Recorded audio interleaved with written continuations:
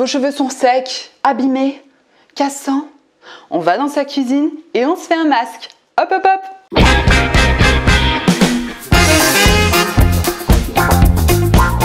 C'est un masque qui ne se conserve pas, donc dès que vous le préparez, hop, vous vous le mettez dans la foulée. Pour cette recette, il vous faut un jaune d'œuf, deux cuillères à soupe d'huile d'olive et une cuillère à soupe de miel, peu importe le miel. Vous mélangez le tout dans un bol et une fois que vous avez tout mélangé, vous l'appliquez sur vos cheveux, mèche après mèche. Si vous avez des cheveux à tendance grasse, je vous recommande que d'en mettre sur les pointes et les longueurs. En revanche, si vous avez les cheveux secs, n'hésitez pas, on se badigeonne, on y va, toute la tête y passe. Alors bien sûr, les doses que je vous ai données, ça correspond à ma longueur de cheveux. Si vous avez les cheveux plus longs, augmentez les doses. Si vous les avez plus petits, je vous recommande pas de diminuer les doses. Je pense que ça, ça en fera plus pour vos cheveux et ils seront plus contents. Une fois que vous vous êtes bien badigeonné, protégez vos cheveux d'une charlotte ou d'une serviette que vous n'avez pas peur de tacher. Adoptez un look irrésistible.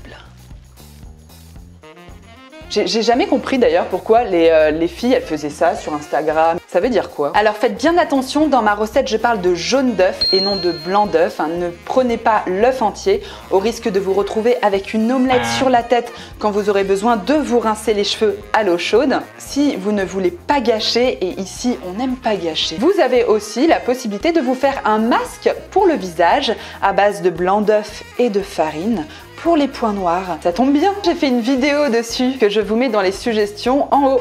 Vous pouvez cliquer, cliquer. Allez, on clique. Allez, on clique, clique, clique, clique,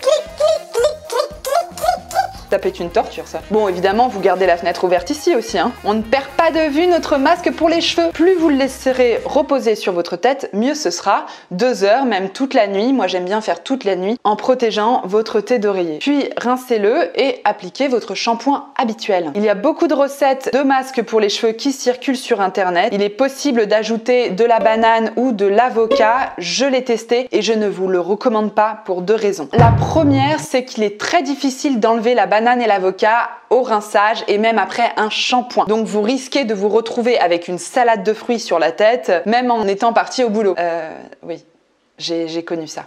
Et oui, c'est un collègue qui m'a fait la remarque. La deuxième raison, c'est que ce sont des fruits exotiques. Hein. On parle pas de pommes euh, ni de poires. Et euh, du coup, ce sont des fruits qui viennent de loin. Et par exemple, pour cultiver un kilo d'avocat, il faut 1000 litres d'eau. Donc c'est énorme. Déjà, évitons de consommer, de manger de l'avocat. Donc en plus, pour se faire un soin pour les cheveux, ça me paraît vraiment secondaire. Boycottons, boycottons. Voilà, on s'est tout dit. Vous avez la recette. Il ne reste plus qu'à la tester chez vous et me faire vos retours dans les commentaires. Si vous avez des astuces, vous, ou que vous voulez en connaître d'autres, n'hésitez pas à rejoindre le comptoir de la débrouille sur Facebook. C'est un groupe où on échange tous nos plan et à vous abonner à ma chaîne YouTube. Sur ce, je vous laisse, je vais aller me préparer un bon guacamole. Non, je plaisante. Et n'oubliez pas que ce sont les petits gestes qui font les grandes révolutions.